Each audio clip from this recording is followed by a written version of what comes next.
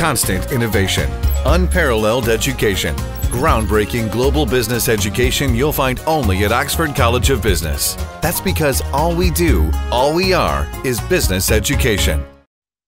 Weeratunga and Palpita were found guilty in the silk clothes case and were sentenced to three years in prison by the Colombo High Court. In addition, they were ordered to pay 2 million rupees each as a fine and 50 million rupees each as compensation. They were accused of misappropriating 600 million rupees of TRC funds to distribute silk clothes during the 2015 presidential elections. On the 11th of September, attorneys representing the former presidential secretary and former TRC director general filed a petition against the verdict delivered by the Colombo High Court.